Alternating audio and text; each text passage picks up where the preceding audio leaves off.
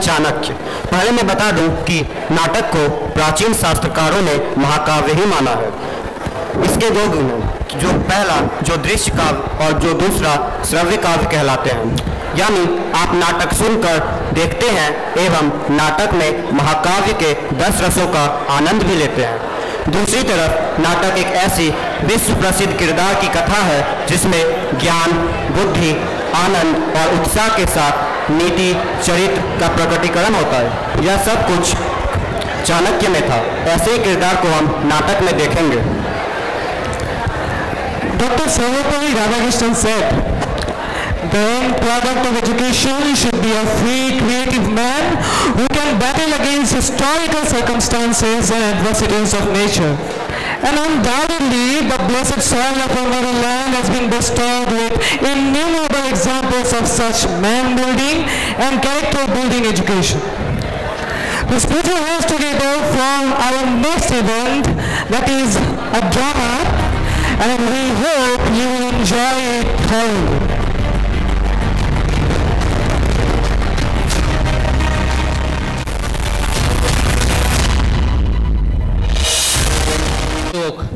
भविष्य की चिंता नहीं करनी। बुद्धिमान मनुष्य वर्तमान में जीते हैं।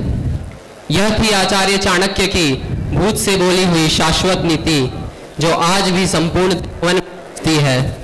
इस सभागार में उपस्थित सभी लोगों को मेरा प्रणाम। आज हम कक्षा बारहवीं के छात्र आप सबके समक्ष आचार्य चाणक्य पर एक नाटक प्रस्तुत करने जा रहे हैं, जो कि जयशंकर प्रसाद द्वारा लिखित नाटक चंद्रगुप्त पर आधारित है। और मूलतः हिंदी में है। प्रथमतः नाटक के उपक्रम में आचार्य चाणक्य की जीवनी के बारे में जानना उचित मालूम पड़ता है।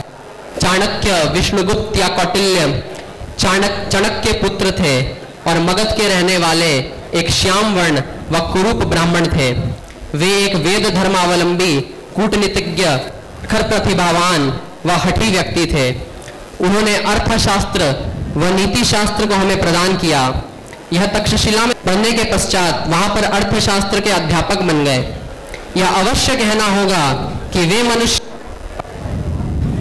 बड़े प्रतिभाशाली थे, जिनके बुद्धि बल द्वारा प्रशंसित राज कार्यक्रम से चंद्रगुप्त ने धनानंद के अत्याचार पर पूर्ण विराम लगाते हुए भारत का साम्राज्य स्थापित करके उस पर राज्य किया। आचार्य चाणक्य नीति शास्त्र द्वारा हमें महत्वपूर्ण शिक्षा देकर गए हैं। आज उन्हीं का स्मरण करते हुए प्रस्तुत है आपके समक्ष नाटक चाणक्य।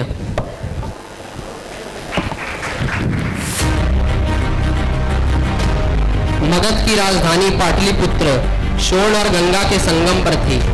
राज मंदिर दुर्ग, लंबी चौड़ी पुण्य विथिका प्रशस्त राजमार्ग इत्यादि। राजधानी के किसी उपयोगी वस्तु का अभाव न था। खाई, सेना रणतरी इत्यादि से वह सुरक्षित भी थी। उस समय महापद्म का वह राज्य था। नौवे नंद का नाम धनानंद हुआ। उसने गंगा घाट बनवाए और उसके अभाव को कुछ दिनों के लिए हटाकर उसी जगह अपना भारी खजाना गाड़ दिया। उसे लोग धनानंद कहने लगे। पाटलिपुत्र के नगर प्रांत में पिपली कानन के मौर्य सेनापति का एक विभवहीन गृह था। महापद्म नंद के और उनके पुत्रों के अत्याचार से मगध काँप रहा था। मौर्य सेनापति के बंदी हो जाने के कारण कुटुंब का जीवन किसी प्रकार कष्ट से बीत रहा था। एक बालक उसी घर के सामने खेल रहा था। कई लड़के उसकी प्रजा बने थे और वह था उनका राजा। उन्हीं लड़कों में से वह किसी को घोड़ा और किसी को हाथी बनाकर चढ़ता और दंड तथा पुरस्कार आदि देने का राजकीय अभिनय कर रहा था। उसी ओर से चाणक्य जा रहे थे। उन्होंने उस बालक की राजक्रीड़ा बड़े ध्यान से देखी। उनके मन में कौतूहल हुआ और कुछ विनोद भी। उन्होंने ठीक ठीक ब्राह्मण की तरह उस बालक राजा के पास जाकर याचना की। राजन मुझ दरिद्र ब्राह्मण को दूध पीने के लिए गाँव चाहिए। इनमें से जितनी इच्छा तुम ले लो। राजन जिसकी ये गाय है वो मारने लगे तो? किसका इतना साहस है? जो मेरे साहस शासन को ना माने, जब मैं राजा हूँ, मेरी आज्ञा अवश्य मानी जाएगी। राजन, आपका शुभ नाम क्या है? महाराज, ये बड़ा दुष्ट लड़का है। इसके किसी अपराध पर ध्यान ना दीजिएगा। कोई चिंता नहीं। ये बड़ा होनहार बालक है। इसकी मानसिक उन्नति के लिए तुम इसे किसी प्रकार राजकुल में भेजा करो। इन लोगों पर राजकोट है और इसके पिता महाराज के आगे ऐसे बंदी किए गए हैं। बालक का कुछ अनुष न होगा। तुम इसे अवश्य राजकुल में ले जाओ। आओ, इन महान आत्मा के चरण स्पर्श करो।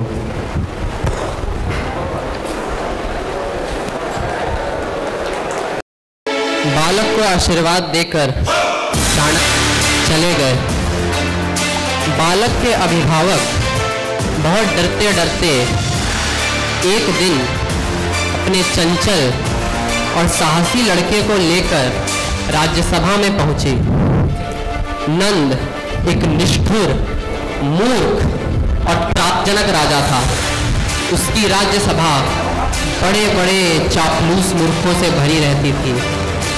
पहले के राजा लोग एक दूसरे के बल, बुद्धि और वैभव की परीक्षा लिया करते थे। और इसके लिए वे तरह तरह के उपाय रचते थे। जब बालक अपने अभिभावक के साथ राज्यसभा में पहुँचा, उसी समय किसी राजा के यहाँ से नंद के राज्यसभा में की बुद्धि का अनुमान करने के लिए लोहे के बंद पिंजड़े में मोम का सिंह बनाकर भेजा गया था और उसके साथ यह कहलाया गया था कि पिंजड़े को खोले बिना ही सिंह को निकाल लीजिए। सारी राज्यसभा इस पर विचार करने लगी। पर उन चापलूस मूर्ख सभासदों को कोई उपाय ना सूझा। अपने अभिभावक के साथ वह बालक यह लीला देख रहा था। वह भला कब मानने वाला था? उसने कहा मैं निकाल दूँगा। यह कौन है? ये मेरे सेनापति का लड़का है। यदि तू इसे ना निकाल सका तो तू भी इसी पिंजरे में डाल दिया जाएगा।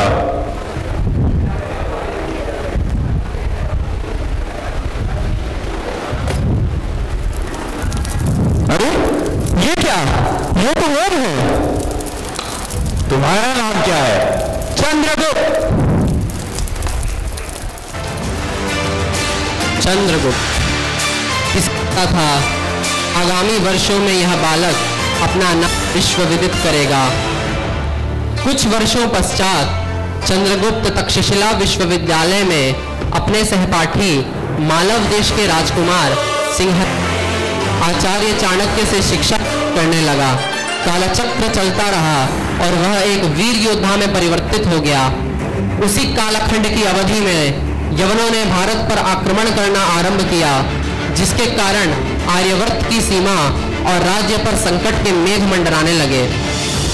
अब चलिए, नाटक के मुख्य क्रम का आरंभ करते हुए चलते हैं पाटलिपुत्र की एक भग्न कुटीर की ओर, जहाँ पर चाणक्य अकेला बैठकर घनिष्ठ चिंतन में मग्न रहता है और तभी एक प्रतिवेशी का प्रवेश होता है।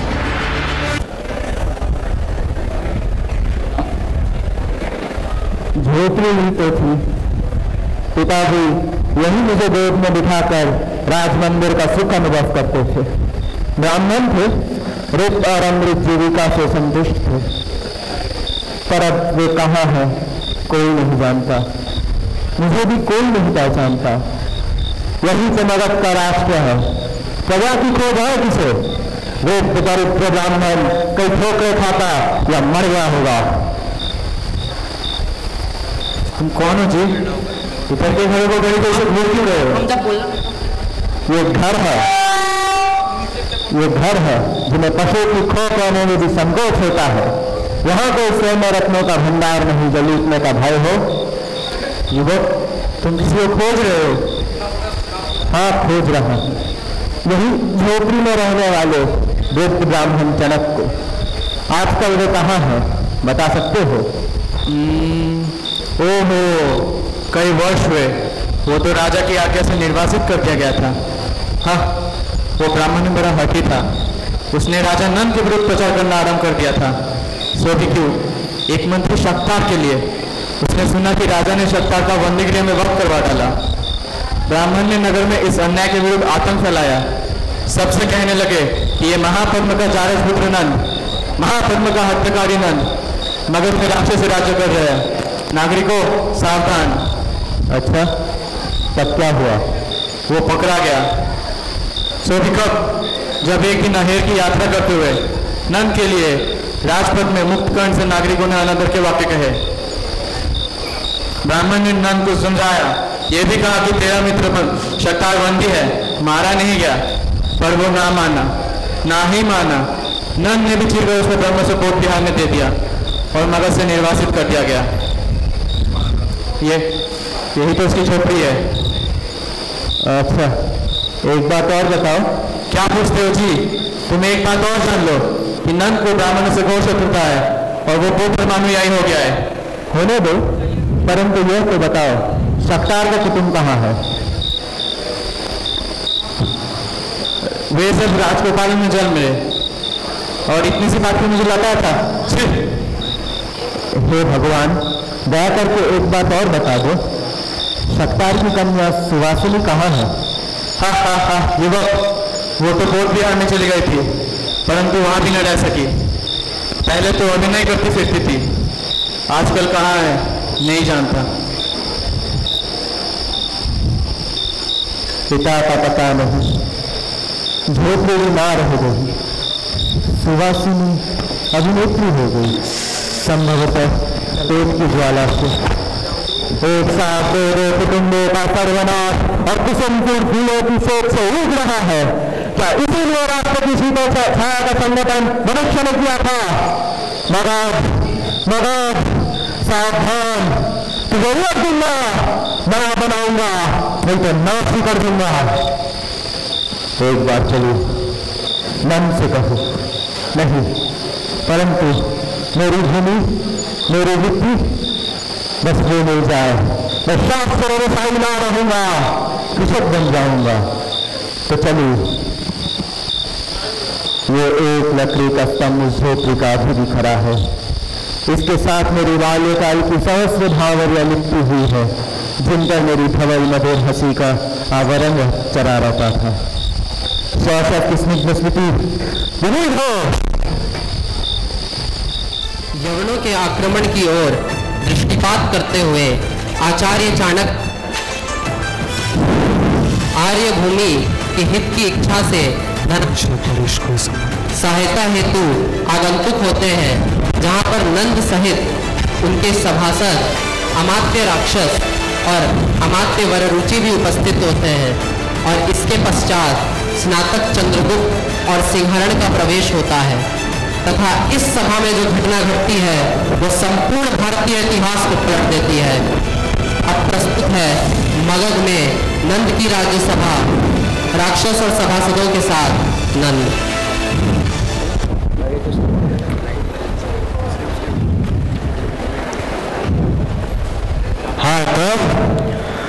दूत लौट आए और उन्होंने कहा है कि पंचमत नरेश को यह संबंध स्वीकार नहीं। क्यों? प्राच्य देश के बौद्ध और शुद्ध राजा की कन्या से वो परिणय नहीं कर सकते। इतना गर्व, यह उनका गर्व नहीं, यह धर्म का दंड है व्यंग है। मैं इसका फल चखा दूँगा, मगर जैसे शक्तिशाली राष्ट्र का अपमान करके कोई यूँ ही नहीं बचाएगा ब्राह्मणों का है मगध से शिक्षा के लिए गए हुए कछला के स्नातक आए। ले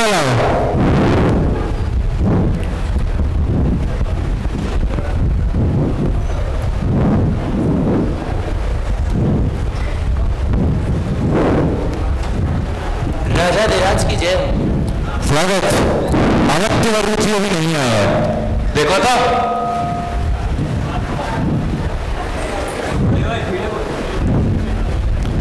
जय गुरुदेव मैं स्वयं आ रहा था।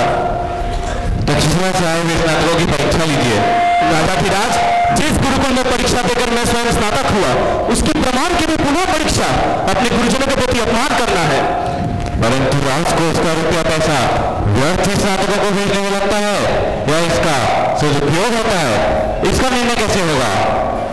केवल सधर्म की शिक्षा ही मनुष्यों के लिए पर्याप्त है, और वह तो मगध नहीं मिल सकती है। परंतु आपकी शिक्षा मानव व्यवहार के लिए पूर्ण नहीं हो सकती।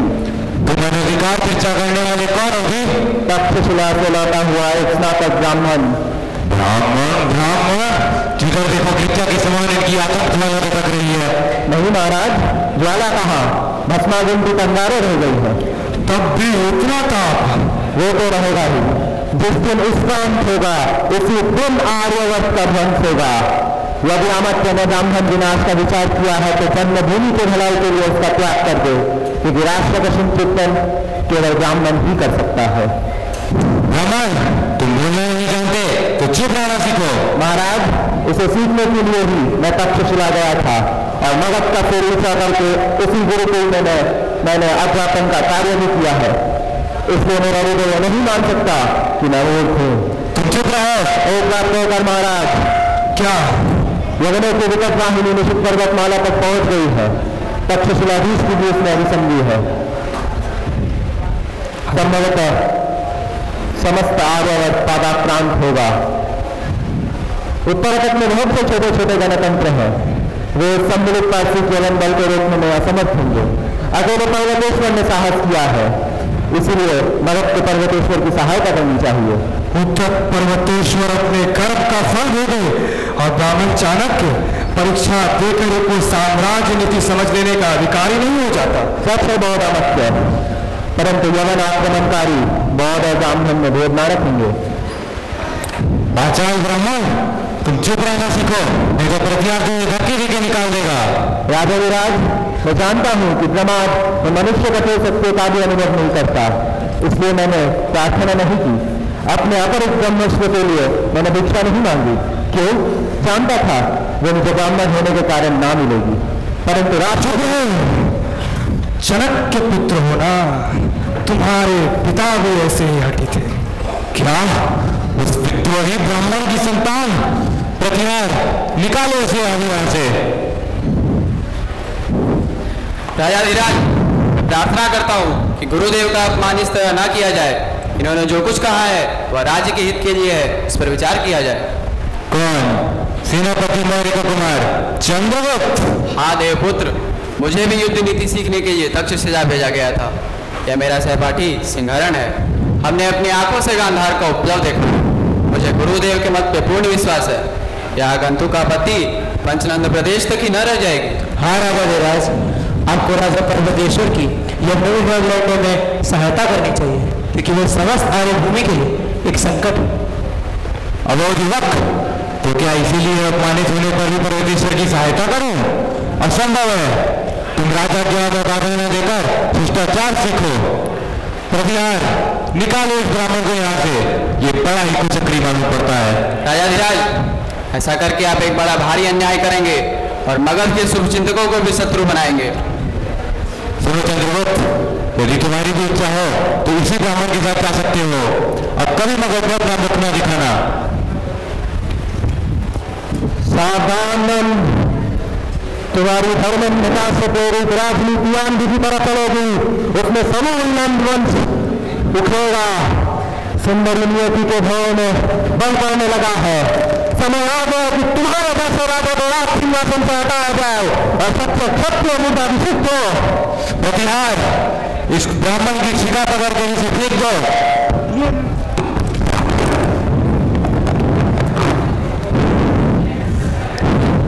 खींच लो खींच लो ब्राह्मण की शिखा विशासर खींच लो। परंतु ये शिखा मन कुल की काल सर्पिनी है। मैं और इसमें को चाणक्य ये प्रतिज्ञा करता हूँ, ये शिखा तब तक बंधन में ना रहेगी। जब तक मन कुल विशेष न होगा इसे बंदी करो। नंद चाणक्य को मगध के बंदी गृह में कैद कर लेता है। और कुछ समय पश्चात अमात्य राक्षस और वररुचि चाणक्य को मुक्ति के बदले में गुप्तचर बनाने के हेतु से उसके पास जाते हैं, परंतु चाणक्य मना कर देते हैं। इसी वार्ता के बीच चंद्रगुप्त बंदी ग्रह के सारे प्रहरियों का वध करके आर्य चाणक्य को छुड़वा ले जाता है। इसके पश्चात प्रतिशोध की अग्नि में जलते हुए चाणक्य, राजा पर्वतेश्वर या पोरस की राज्यसभा में उनसे नंद के विरुद्ध सहायता लेने के लिए जाते हैं।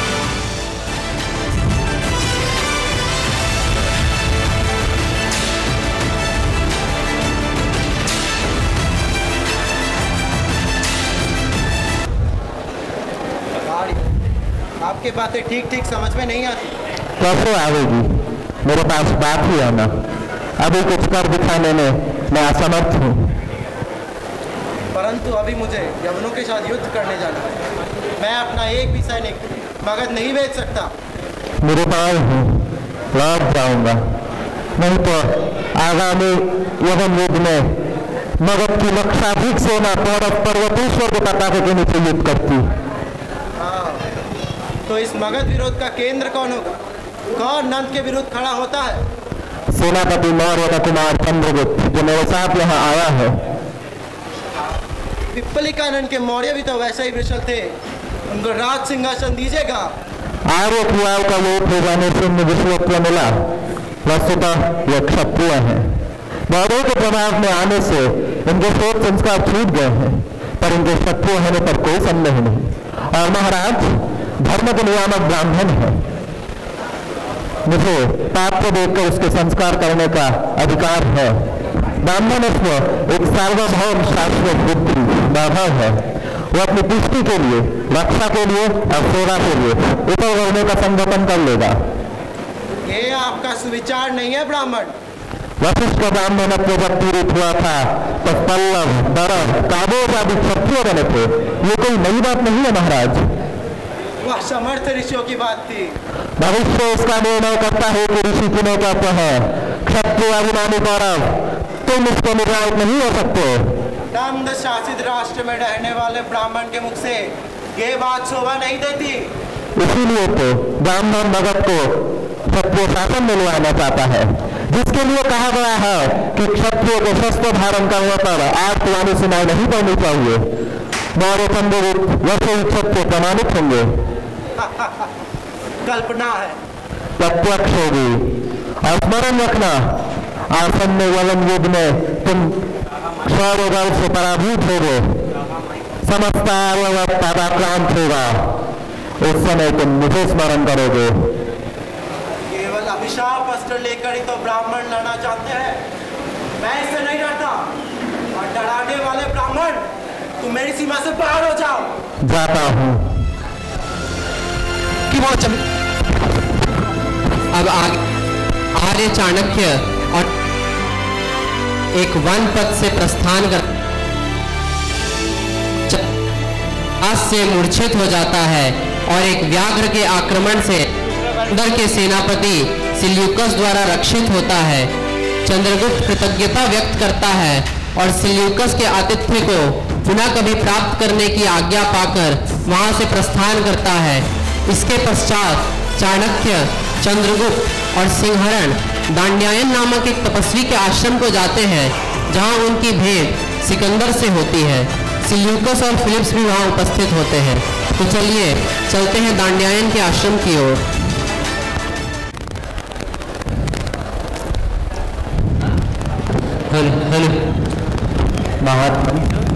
हम लोगों को क्या आज्ञा किसी और समय उपस्थित हो? चाणक्य तुमको तो कुछ दिनों तक इसी स्थान पर रुकना होगा, क्योंकि सब विद्या के आचार्य होने पर भी तुमको उसका फल नहीं मिला उद्योग नहीं मिटा। तुम्हारे मन में अब भी हलचल मची है। यह अवस्था संतोषजनक नहीं।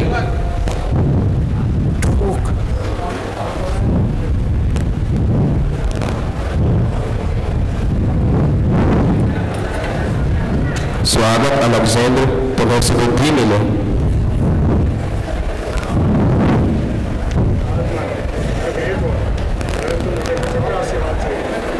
मैं और आशीर्वाद देने में असमर्थ क्योंकि अन्य जितने भी आशीर्वाद होंगे सब अमंगलजनक होंगे। आपके मुँह से जय हूँ। घोष तुम्हारे चारण करेंगे। हत्या रक्तपात अग्निकांड आदि के लिए उपकरण जुटाने में मुझे कोई आनंद नहीं। अलेक्जेंद्र राज राजसत्ता सुव्यवस्था से चले तो चल सकती है केवल विजयों से नहीं इसलिए अपने प्रजा के हित में लगो।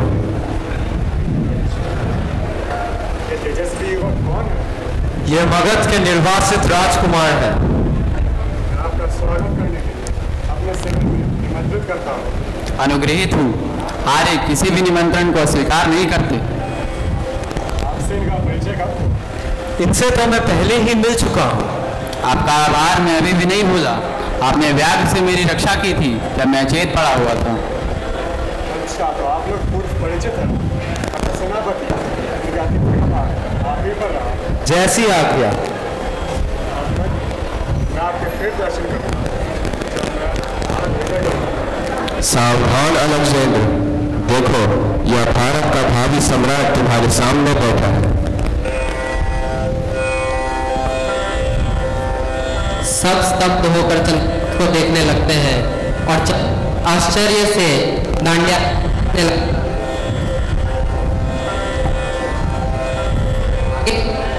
वही भूत सत्य प्रमाणित हो जाती है।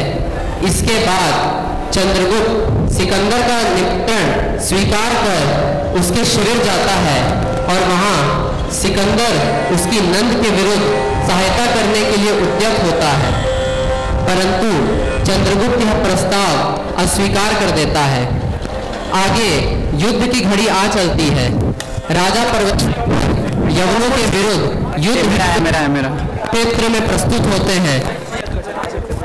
सिंहरण भी उसकी सहायता के लिए उपस्थित होते हैं। यह दृश्य राजा पर्वतेश्वर की वीरता को भलीभांति प्रदर्शित करता है और भारत के गौरवमय इतिहास की साक्षी देता है। प्रस्तुत है आपके समक्ष युद्ध क्षेत्र में सैनिकों के साथ पर्वतेश्वर। सेनापति भूल हुई। हाथियों ने उधम मचा रखा है। और रथ सेना भी सी लग रही है।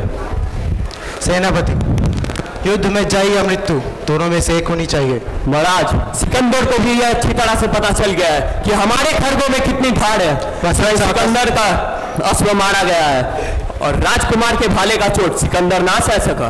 प्रशंसा का समय नहीं शीघ्रता करो। मेरी रणगज प्रस्तुत हो। मैं स्वयं गज सेना का संचालन करूँगा। चलो।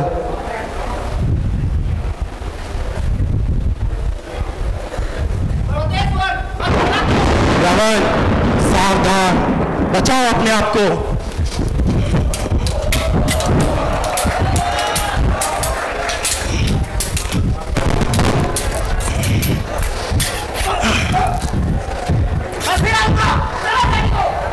सेनापति, देखो, उन कायरों को रोको, उनसे कह दो कि आज रणभूमि में पर्वतेश्वर पर्वत के समानाचल है। जय पराजय की चिंता नहीं, इन्हें बतला देना होगा कि भारतीय लड़ना जानते हैं। बादलों से पानी की जगह वज्र बरसे गज सेना छिन्न भिन्न हो जाए। राशि विरक्त हो रक्त नाले बड़े भूमियों से। परंतु एक पग भी पीछे हटना पर्वतेश्वर के लिए असंभव है। धर्म युद्ध में प्राण भिक्षा मांगने वाले भिखारी हम नहीं। जाओ, उन भगवानों से एक बार जननी की स्तन्या की लज्जा के नाम पर रोकने के लिए कहो। कह दो कि मालिक अक्षर एक ही है। जाओ।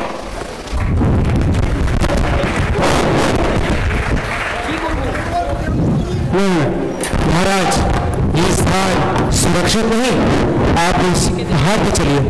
तुम कौन हो बाबा एक मालव। मालव के मुख से पहला ऐसा कभी नहीं सुना गया। मालव अगर खड़ग टीरा देखनी हो तो खड़े रहो। डर लगता है तो पहाड़ी पर जाओ। महाराज यज्ञों का दल आया है। आने दो तुम जाओ। आक्रमण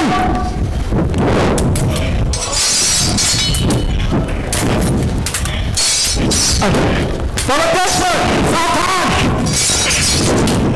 युद्ध युद्ध होगा कौन चंद्रगुप्त आदेव पुत्र किससे युद्ध वीर घायल पर्वतेश्वर वीर पर्वतेश्वर से कदापि नहीं आज मुझे जय पराजय का विचार नहीं मैंने एक अलौकिक वीरता का स्वर्गीय दृश्य देखा है होमर की जिस कविता से मेरा हृदय भरा हुआ है उसे यहाँ मैंने प्रत्यक्ष देखा। हे भारतीय वीर पर्वतेश्वर मैं तुम्हारे साथ कैसा व्यवहार करूँ? जैसा एक नरपति अन्य नरपति के साथ करता है सिकंदर। मैं तुमसे मैत्री करना चाहता हूँ। विस्मय विमुक्त होकर मैं तुम्हारी प्रशंसा किए बिना नहीं रह सकता। धन्य आर्य वीर। मैं तुमसे युद्ध ना करके मैत्री भी कर सकता हूँ। पंचनंद नरेश आप क्या कर रहे हैं? समस्त मगध सेना आपकी प्रतीक्षा में है। युद्ध होने दीजिए। नहीं युवक वीरता भी एक अद्भुत कला है। उस पर मुग्ध होना आश्चर्य की बात नहीं परंतु मैंने वचन दे दिया और आर्य कभी मिथ्या वचन नहीं देते।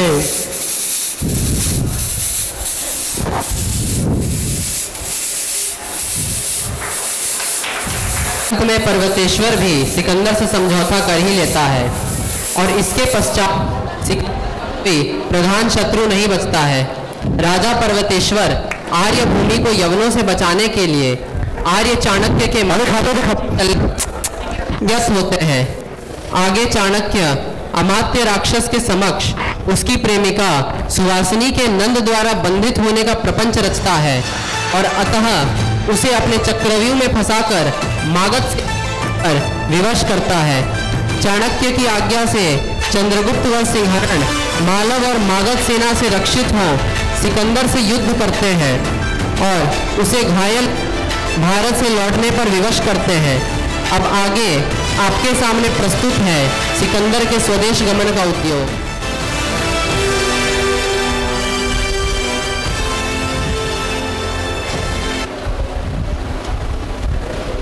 देखो गौरव, आज नृशंसता की बारी पड़ जाएगी चाणक्य ने जो किया वो सही था या गलत अब समझ में आएगा मानता हूँ आर्य यह आप ही की स्तुति कार्य थी और चंद्रगुप्त के बाहुबल का गौरव आज मैं फिर उसी बात को बहराना चाहता हूँ मगध को राक्षस मन के हाथों से मुक्त करने के लिए चाणक्य ने तुम्ही से पहले सहायता मांगी थी और अब तुमसे लेगा मैं प्रस्तुत हुआ आर्य मैं विश्वस्त हुआ अच्छा आज जगनों को विदा करना है।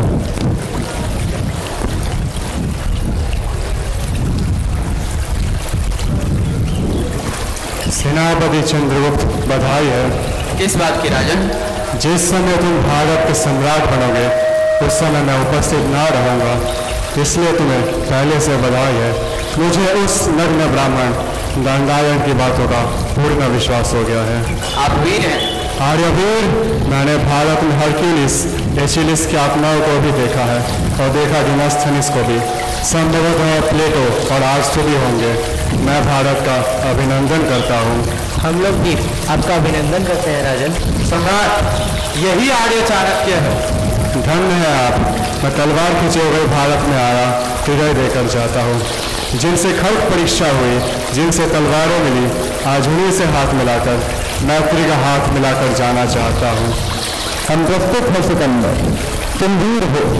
भारतीय सदैव उत्तम गुणों की पूजा करते हैं।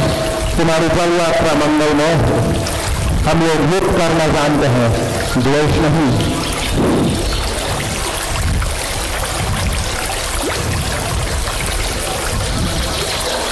सिकंदर है और वे सब चल जाते हैं। अब एक बार फिर हम उसी पुरी का दर्शन दृश्य देखने जा रहे हैं, जहाँ हमारी कहानी ने चरण धरे। कुसुमपुर चंद्रगुप्त लिए आमंत्रित किए जाने पर उससे लड़ने जाता है और चाणक्य कुसुमपुर को जाता है। चाणक्य स्वस्थ व्यू रचना कर लेता है और नंद के साम्राज्य को उजड़ने पर कटिबद्ध रहता है। इतने में मानो नंद का काल मूर्तिमान में उसके समक्ष शकटार के रूप में प्रकट होता। वही शकटार जो चाणक्य के पिता चाणक्य का भी मित्र था और नंद द्वारा अंधकूप में डाल दिया गया था। तो देखते हैं चाणक्य और शकटार वो सामने कुसुमपुर है, जहाँ मेरे जीवन का प्रभात हुआ था। मेरे सरल हृदय में उत्कट इच्छा थी, कोई भी सुंदर मन मेरा साथी हो। प्रत्येक नवीन परिचय में उत्सुकता थी और उसके लिए सर्वस्व लुटा देने की सन्नद्धता थी। परंतु संसार, कठोर संसार ने सिखा दिया कि तुमको परखना होगा। समझदारी आने पर वह वन चला जाता है। जब तक माला गुथी जाती है, तब तक फूल कुम्हा जाते हैं। यही तो विषमता है। मैं छल्लाओं काल चक्र कूट चक्रों का कंकाल कठोरताओं का केंद्र। ओह, तो मेरा इस विश्व में कोई स्वरूप नहीं है मेरा संकल्प। अब मेरा आत्मभिमान ही मेरा मित्र है। अरे ये ध्वनि संधि तोड़कर कौन सड़क के हाथों निकल कर देखो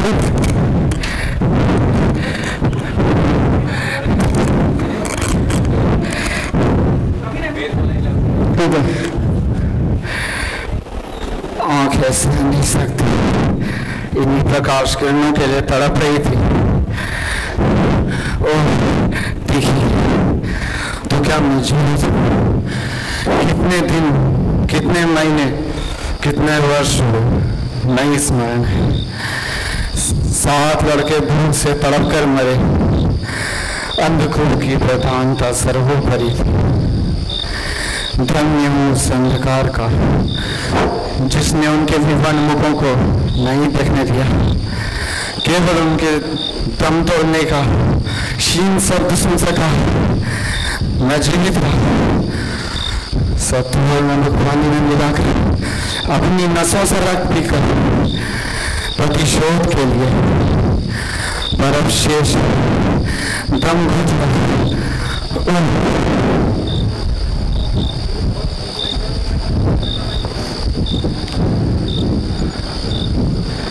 हो, तुम कोई दुखी मनुष्य घबराओ मत। मैं तुम्हारी सहायता के लिए प्रस्तुत हूँ। दुख दुख का नाम सुना होगा। या कल्पित आशंका से तुम उसका नाम लेकर चिल्ला उठते होगे। देखा है कभी सात सात गोद के लालों को भूख से तड़प कर मरते। देखा है कभी प्रतिहिंसा की स्मृति को ठोकर मार मार कर जगाते और प्राण न्यौछावर करते देखा है ऐसा कष्ट। उन सबों ने अपना आहार मुझे दिया और मैं पिता होकर भी पत्थर सा जीवित रहा। जानते हो क्यों? वे सुकुमार थे। सुख की चादर में पले थे। अतः मर जाते। मैं जीवित रहा। प्रतिशोध के लिए उस नर राक्षस की अकड़ियों में से खींचकर एक बार रक्त का फुहारा छोड़ता और इस पृथ्वी को उसी से रंग देखता। सावधान सावधान हो रे, जो दुर्बलों पर अत्याचार करते हैं। गरीबों पर अपना दम दिखाते हैं। जिसने अपने पुत्रों की हड्डियों से सुरंग खोदी हो, नखों से मिट्टी हटाई हो। उसे सावधान होने की आवश्यकता नहीं। मेरी वेदना अपनी अंतिम शस्त्रों से सुसज्जित तो भी तुमको प्रतिशोध चाहिए। हम दोनों एक ही पथ के हैं। घबराओ मत। क्या तुम्हारा इस संसार में और कोई भी ज़रूरत नहीं? बची थी। एक बालिका अपनी माता की स्मृति। सुवासी पर अब कहाँ है? कौन जाने? क्या कहा? सुवासिनी हाँ सुवासिनी और तुम सकतार हो। दूँगा गला अगर दोबारा अपने मुख से यहाँ नाम लिया तो। एक बार से प्रतिशोध ले लेने दो। फिर चाहे दौड़ी पीटना। वो सुवासिनी मनपुरम शाला में है। पहचान तो हो? नहीं तो तुम्हारे सखा ब्राह्मण प्रतिवेशी जनक का पुत्र विष्णुगुप्त, तुम्हारी जिसकी ब्रह्म वृत्ति छीन ली गई हो, तुम्हारा सहकारी जानकर राज्य से निर्वासित कर दिया गया हो, उसी जनक का पुत्र चाणक्य थी जिसकी शिखा पकड़कर रात सभा में खींची गई थी, जो बंद गृह में मृत्यु की प्रतीक्षा कर रहा था। करोगे मुझ पर विश्वास। करूँगा। जो कहोगे वही करूँगा। मुझे प्रतिशोध चाहिए। तो चलो मेरी धोती में इस सुरंग को घास फूस से ढक दो। और अमात्य वर रुचि जो भी नंद द्वारा बंदी बना लिया गए थे, उनके सहित चाणक्य के दल में सम्मिलित हो जाते हैं। चंद्रगुप्त फिलिप्स को द्वंद्व में पराजित करके पुनः कुसुमपुर पहुँचता है। अणक्य नागरिकों में नंद के विरुद्ध आतंक व अराजकता फैला देता है। अब प्रस्तुत है आपके समक्ष कुसुमपुर के प्रांत पथ में चाणक्य और पर्वतेश्वर। कुछ चुने हुए अश्वरियों को साथ लेकर नगर द्वार में उपस्थित रहना। जब चंद्रगुप्त भीतर युद्ध प्रारंभ करे तुमको नगर द्वार पर आक्रमण करना होगा।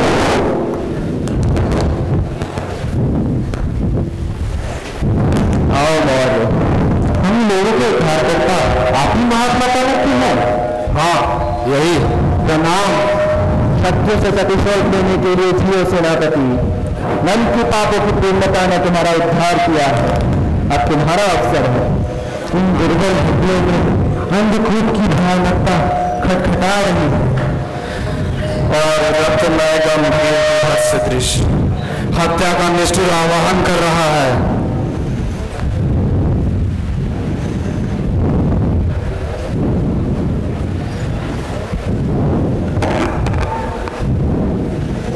पिता तुम्हारी यह दशा एक एक पीड़ा की प्रत्येक निष्ठुरता की गिनती होगी उन सब का अधिकार होगा। ओह, मेरा जीवन व्यर्थ। नान चंद्रगुप्त सफलता एक ही क्षण की होती है। आवेश और कर्तव्य में बहुत अंतर है। आज्ञा दीजिए गुरुदेव। देखो इधर नागरिक लोग आ रहे हैं। यही अवसर है तुम लोगों का भीतर जाने का और विद्रोह फैलाने का। से वर वधु को खरीद ले जाना। इतने बड़े नागरिक का अपमान अन्याय है। सोरी राक्षस सुवासिनी को कुसुमपुर के दो सुंदर थी। और सेनापति मंत्री सबको अंधकूप में डाल देना। मंत्री सेनापति और अमात्य को बंदी बनाकर जो राज्य करता है वह कैसा अद्भुत राजा होगा? नागरिक उसकी कैसी अद्भुत योग्यता होगी? मगर को तो गर्व होना चाहिए। गर्व नहीं है होनी चाहिए। ऐसा जगह में अत्याचार यह तो मगध का पुराना इतिहास है। जरासंध का यह अखाड़ा है। एक आधिपत्य की कटुता का यह सदैव से अभ्यस्त है। अभ्यस्त होने पर भी असह्य है। आज आप लोगों की बड़ी वेदना। एक उत्सव का भंग होना अपने आँखों से देखा है। नहीं तो जिस दिन सत्तार को दंड मिला था, एक अभिजात नागरिक की सुकुटुंब हत्या हुई थी, तब कहाँ सो रही थी जनता?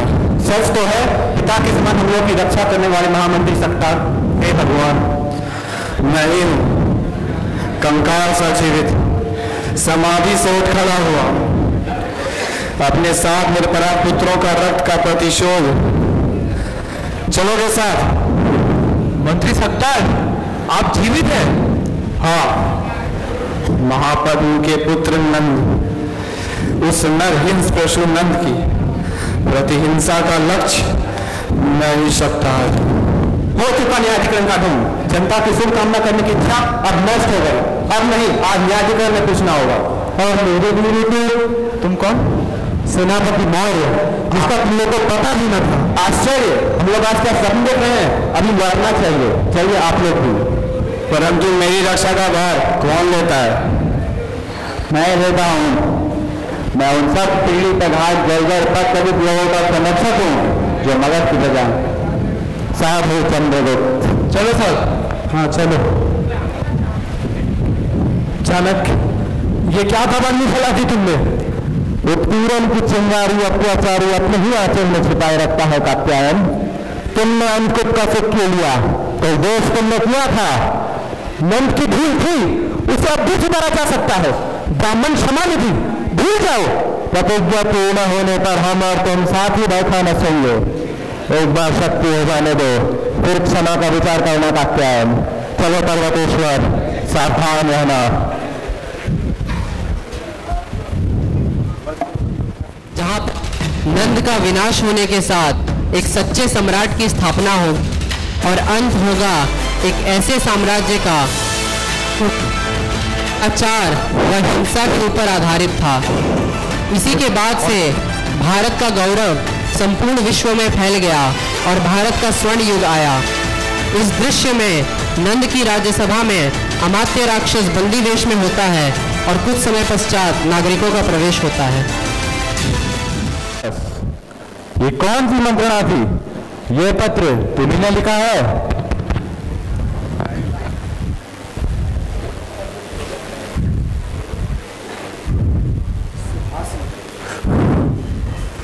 सुहासिनी उस कारागार से शीघ्र निकल भाग इस स्त्री के साथ मुझसे आकर मैं उत्तर पथ में नवीन राज की स्थापना कर रहा हूँ। नन से फिर समझ में आ जाएगा।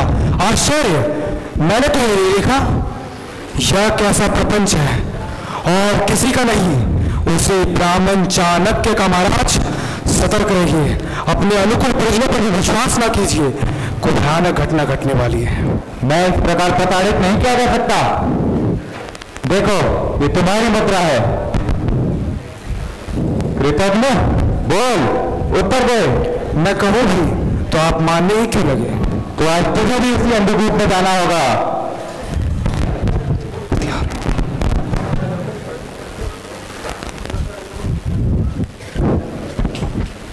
सम्राट आपसे नगर की प्रजा प्रार्थना करती है कि राक्षस और अन्य लोगों पर राजन द्वारा किए गए जो अत्याचार है, उनका फिर से निराकरण होना चाहिए। क्या? तुम लोगों को मेरे में में विश्वास है। इसका प्रमाण है सत्तार वररुचि और मौर्य। क्या? सत्तार? जीवित है?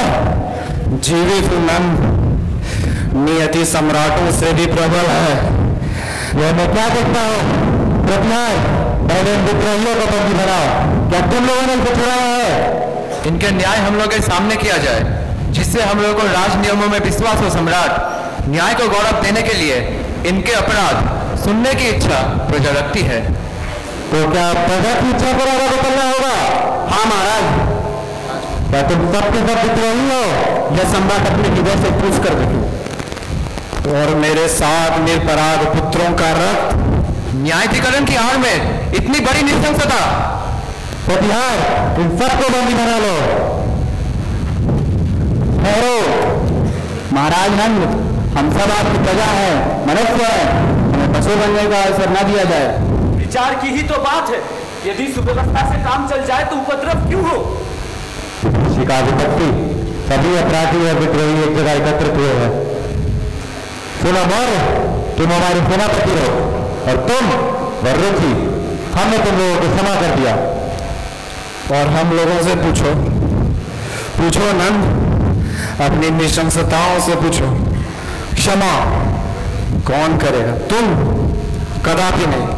तुम्हारे सारे अपराधों का न्याय होगा। तब को विवेकानंद की निष्ठता प्रतिभा रात की संकट है। आओ, आज हमें पौधा खुलाना है।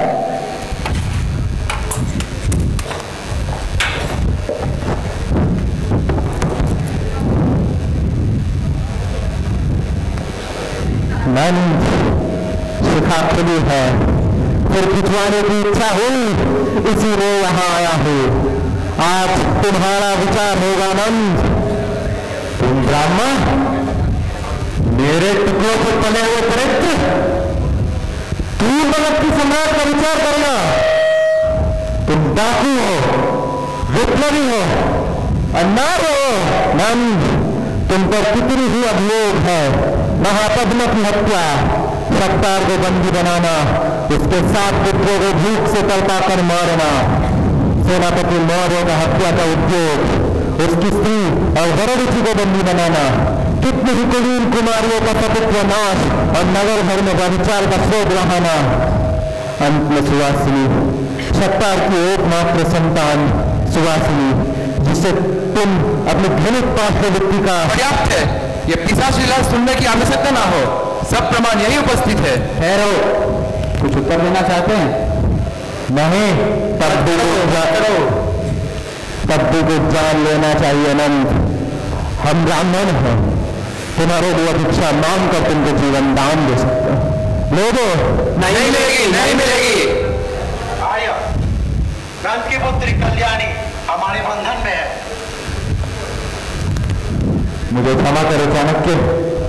मैं कल्याणी के साथ जंगल में जाकर तपस्या करना चाहता हूँ।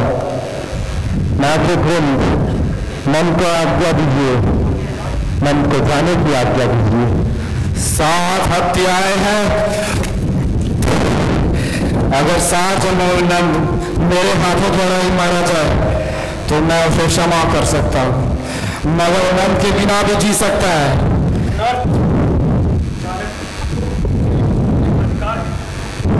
आपके राक्षस के बंधन खोल दिए जाएँ।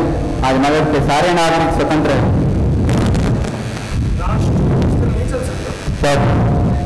की राक्षस, वररुचि, सत्तार, चंद्रगुप्त और चाणक्य की हम सम्मिलित परिषद घोषणा करते हैं।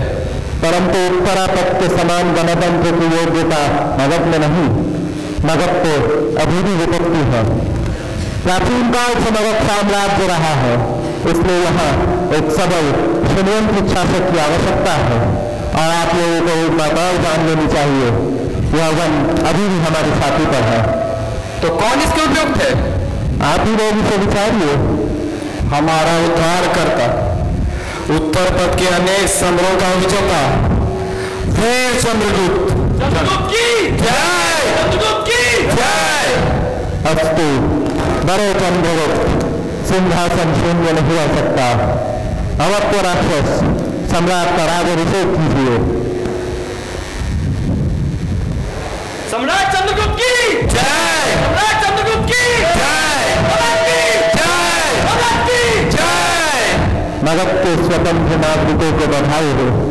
आज़ाद लोगों के नगर का नवीन जन्म दिवस है। परंतु स्मरण रखना होगा। कि ईश्वर ने प्रत्येक मनुष्य को स्वतंत्र उत्पन्न किया है। परंतु व्यक्तिगत स्वतंत्रता वहीं पर दी जा सकती है, जहाँ पर दूसरों की स्वतंत्रता पर बाधा ना पड़े। यही राज नियमों का मूल्य है। वत्स चंद्रगुप्त स्वेच्छाचारी शासन का परिणाम तुमने स्वयं देख लिया। अब मंत्री मंत्रियों की सम्मति से मगध और आर्यवर्त के कल्याण में लगे। की जय! मुख्य इस शिक्षक दिवस हम सबको आचार्य चाणक्य से शिक्षा लेनी चाहिए और उनकी नीति के अनुकूल व्यवहार करना चाहिए। अब मैं आचार्य चाणक्य की एक शिक्षा, जो कि इस कथा का सार भी है, अपनी वाणी को विराम देता हूँ। गुणे रुक्ता मताम याति नौचेरासन्न संस्थितः, प्रासाद शिखरस्थोपि किम गरुड़ाय थे उत्तमता गुणों से आती है। ना कि ऊँचे स्थान से। कौआ महल के शिखर पर बैठकर गरुड़ नहीं बन जाता। धन्यवाद।